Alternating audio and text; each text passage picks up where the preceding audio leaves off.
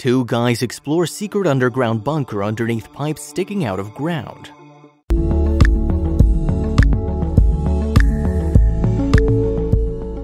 Two men in Germany were out exploring the fields when they found two pipes sticking up from the ground in the middle of nowhere. They shared their story on Reddit and it is nothing short of amazing.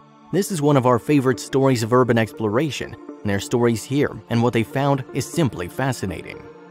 After finding the pipes in the field, locating the entrance wasn't too hard. This is the entrance, 100 meters or so from the periscopes and surrounded by coniferous trees. It was covered with a wooden lid which was easy to remove using a crowbar. The iron door you can see in the picture would swing back in but the lock was broken so they couldn't get trapped inside. What you can see here is what you'd see for the next few minutes, nothing but endless hospital-like hallways. They said the acoustics were, in a word, haunting. A pipe and plastic bag on the floor presumed from a local supermarket. Hallways like this occurred several times. They decided to keep going straight in order to avoid getting lost. The holes in the wall on the right appear to be punched with a hammer. This is what you see when you turn left at the intersection seen above. The narrow hole in the floor was filled with dirty water, nothing to see here. A little later at the second intersection, they found what seemed like a clogged entrance covered in graffiti. Obviously, they weren't the first people to visit.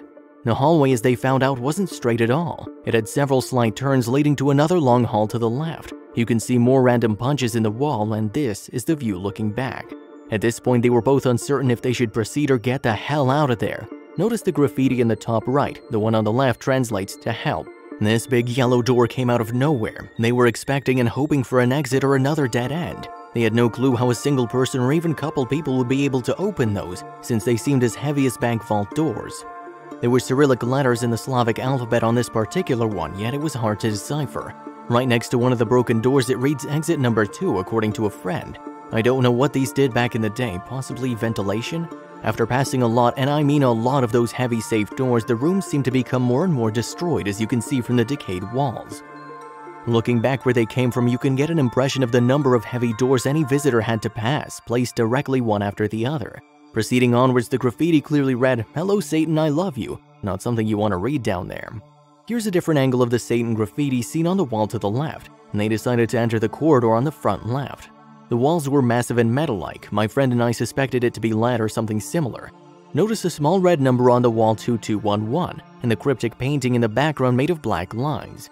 When you passed a few corners in the lead wall corridor, you'd set foot in this flooded area, which was set a single step below the prior rooms. They only stuck their heads in to take some pictures.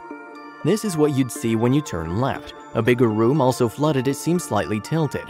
Notice another ventilation pipe right next to the door. This was the first time on the whole tour one of the explorers literally panicked, terrified by the silhouette of this pile of rubble resembling a crouching or sitting man.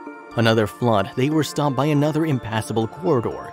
When already heading back to where they came from, my friend found this spooky gem. It was the biggest room so far, but only visible through little square holes in the walls. Back view of the machine. On the wall in the background, right below the ceiling pipes, you can see the narrow gap from where he took the picture above. Random gloves found in one of the tiny gaps, random shoe left in the mud, this is a sign on the floor reading Stay Back, situated right next to the Great Hall. These spikes look like just icicles, but were some kind of mineral phenomenon. Right after this shot, the camera went down and we headed back to the entrance. Pretty creepy, right? I don't think I'd have stayed in as long as they did. I wonder what those types of bunkers were really used for.